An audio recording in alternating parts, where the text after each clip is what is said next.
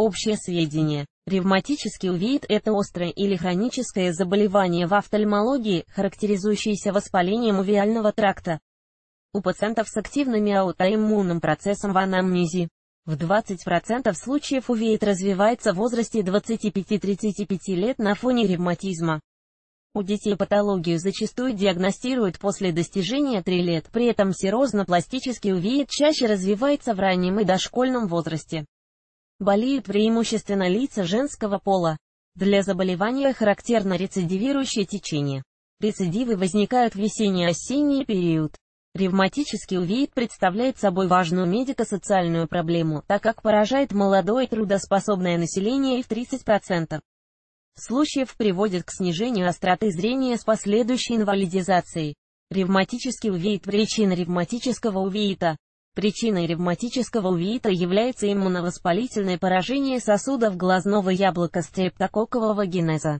Заболевание возникает чаще на фоне хронического, реже острого течения болезни Соколовского буя. При этом поражаются передние отделы увиального тракта, целлярное тело или сосудистая оболочка.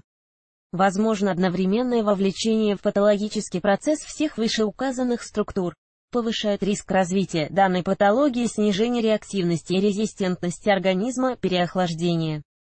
Провоцирующими факторами рецидивов заболевания могут быть частые ангины. Узелковая форма ревматического увеита, как правило, встречается у пациентов с артритом аутоиммунного происхождения. Также данная патология может быть одним из проявлений таких системных заболеваний, как серонегативный спондилоартрит, ювенильный, хронический артрит, болезнь Бехчета, симптомы ревматического увеита. В зависимости от поражения того или иного отдела глазного яблока различают передний, задний, периферический увеит и панувеит. Ревматический увеит протекает остро или хронически. Как правило, воспалительный процесс характеризуется преобладанием экссудативного или транссудативного типа секреции. Ревматический пластический увеит развивается остро, часто ему предшествует конъюнктивит. Пациент предъявляет жалобы на ощущение инородного тела в глазу, сжение, повышенное отделение серозного содержимого, медиас. Через 3-4 дня присоединяется целлярная инъекция. При этом расширение зрачков сменяется их сужением. Спустя 2-3 дня после развития первых симптомов нарастает болевой синдром в области глазницы, слезотечение и фотофобия. Больные отмечают изменения в окраске радужки, что вызвано отеком, гиперемией секреции ксудата. В результате образования синехи существует высокий риск развития вторичной катаракты или глаукомы. Клинические проявления серозно-пластического переднего ревматического увеита сохраняются длительное время, но для этой формы характерно более легкое течение. Пациенты отмечают у себя незначительную болезненность и светобоязнь, реже инъекцию сосудов у края радужки. Наиболее частое осложнение – отслойка стекловидного тела. При серозном варианте заболевание имеет латентное течение без внешних проявлений воспалительного процесса. Как правило, хронический серозный увей трансформируется в серозно-пластический и осложняется вторичной глаукомой или катарактой. Особенностью геморрагической формы ревматического увеита является преобладание эксудативного типа секреции над транссудатом. При этом в эксудате наблюдается примесь крови. В свою очередь при панувеите в патологический процесс вовлекается еще и сосудистая оболочка. Клинические симптомы периферического ревматического вита представлены появлением тумана или мушек перед глазами. Диагностика ревматического увеита. Диагностика ревматического увеита основывается на анамнестических данных, результатах наружного осмотра, визометрии, тонометрии, биомикроскопии, офтальмоскопии, гониоскопии.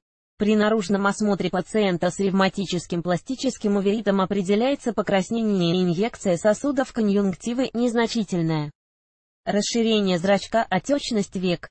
Методом биомикроскопии визуализируется пигментная и конусовидная синяя хипокрев зрачка, отек роговицы и исчерченность ее заднего отдела. Специфическим является симптом решетки, образованной складками дисцеметовой оболочки. В передних отделах радужки выявляются расширенные сосуды. С помощью щелевой лампы можно обнаружить сужение пространства позади хрусталика, ярко выраженный феномен Тинделя. При серозно-пластической форме ревматического увита визуализируются небольшие округлые прецепитаты серого цвета. На длительное течение указывает изменение их контура с ровного на фистончатый. При гониоскопии определяется аполисцирующая влага передней камеры глаза, желто-серый эксудат. Проведение офтальмоскопии указывает на незначительную гиперемию в зоне диска зрительного нерва. Макроскопическое исследование оптического среза позволяет выявить скопление патологических взвесей в ретролентальном пространстве витриальной отслойки. При узелковой форме ревматического увеита методом биомикроскопии можно диагностировать розово-серые узелки, диаметр которых составляет 1-3 мм. После их исчезновения на зрачковом поясе радужки образуются участки атрофии, которые сменяются задними синехиями. При геморрагической форме ревматического увеита методом гониоскопии выявляется скопление эксудата темно-красного цвета. Жидкость также накапливается в углу передней камеры, в области радужки и зрачка. После рассасывания эксудата при биомикроскопии визуализируется задняя синехия. Очаги помутнения при вовлечении в патологический процесс сосудистой оболочки определяются в ходе офтальмоскопии. Они представляют собой желтоватые образования с нечетким контуром. Старые очаги имеют белую окраску. Данный метод позволяет выявить гиперемию диска зрительного нерва. При периферическом ревматическом увейте в ходе проведения биомикроскопии можно обнаружить воспалительные взвеси в стекловидном теле и целлярную отслойку. Дополнительными методами исследования являются визометрия, позволяющая определить степень снижения остроты зрения и тонометрия, проводимая для измерения ВГД у пациентов с подозрением на вторичную глаукому.